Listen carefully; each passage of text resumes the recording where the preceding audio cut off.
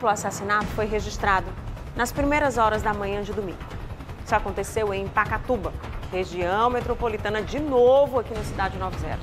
Já mostramos Maracanaú, Calcaia e agora Pacatuba. Segundo informações, os dois estavam pichando muros na região com ameaças e inscrições de uma organização criminosa. Aí foram surpreendidos por criminosos armados e olha só o que aconteceu. Um local bastante movimentado, centro comercial do bairro Pavuna, no município de Pacatuba, foi o local desse duplo assassinato. Os moradores que vivem por aqui foram acordados por volta das 6h20 da manhã com muitos disparos de armas de fogo efetuados por homens aqui mesmo da região. As vítimas são dois jovens. Eles chegaram a esse local em uma motocicleta e, de acordo com informações colhidas aqui no local do crime pela Polícia Militar, eles estavam tentando pichar é, ameaças contra integrantes de uma organização criminosa que atua no local e as siglas da organização rival.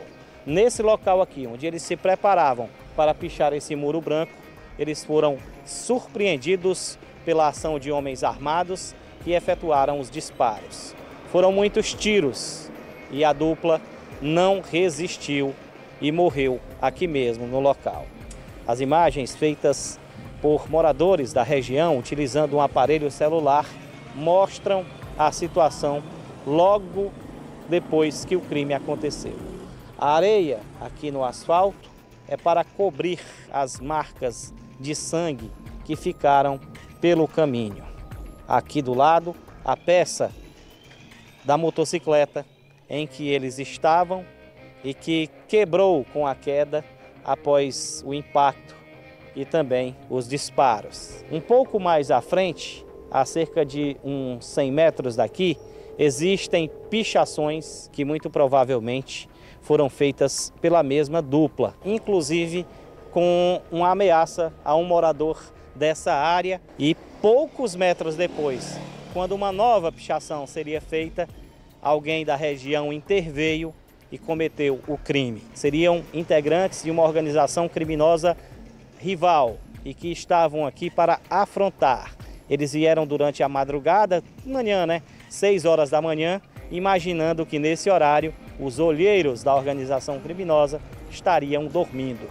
Ledo engano pólvora, sangue, estampidos marcaram esse violento ataque que deixou dois mortos aqui no local. Há informação de que uma mulher aqui da região que não tem nenhuma relação com essa situação teria sido atingida por um disparo, por uma bala perdida e socorrida à unidade de pronto atendimento dessa região onde nós estamos.